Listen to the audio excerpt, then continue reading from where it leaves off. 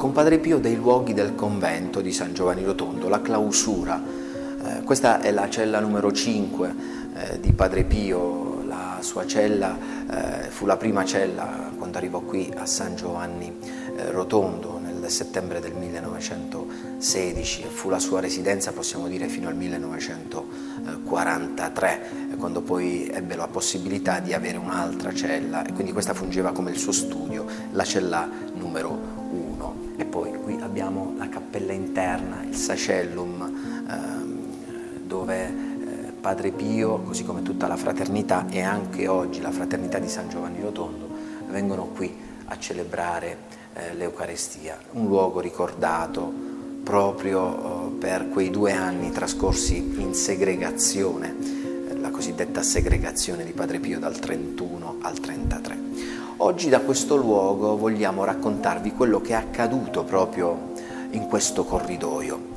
Eh, parliamo di padre Luigi Irzio eh, Magliacani, che è stato un missionario cappuccino ehm, in India e futuro vescovo vicario apostolico d'Arabia. Perché futuro? Perché il fatto che stiamo riferendo eh, fa riferimento al 1948. Infatti lui prese possesso divenne vicario apostolico d'Arabia dal 25 dicembre del 1949 al 4 novembre del 1969.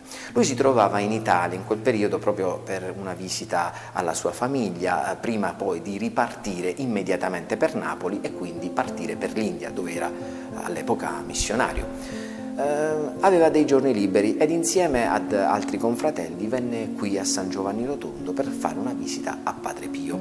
Eh, però padre Magliacani, parlando poco prima con padre Andrew Apostoli, con cui era venuto qui a San Giovanni Rotondo, eh, gli disse, beh senti padre Andrew, ehm, io non sono molto convinto questo Padre Pio. Pensava appunto che Padre Pio non fosse eh, una cosa genuina, credeva appunto eh, nell'opposto.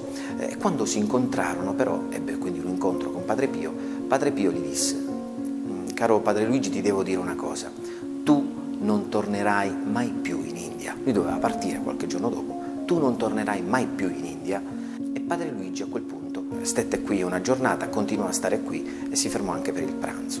Durante il pranzo successe qualcosa di straordinario.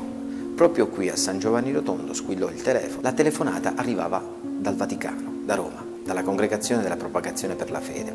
Volevano parlare proprio con padre Luigi Magliacani.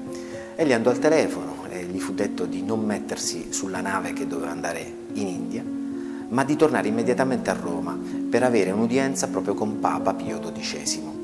Lui di corsa tornò verso Roma, il Papa quando lo vide disse Padre Luigi eh, voi siete stato scelto per aprire una nuova missione in Arabia.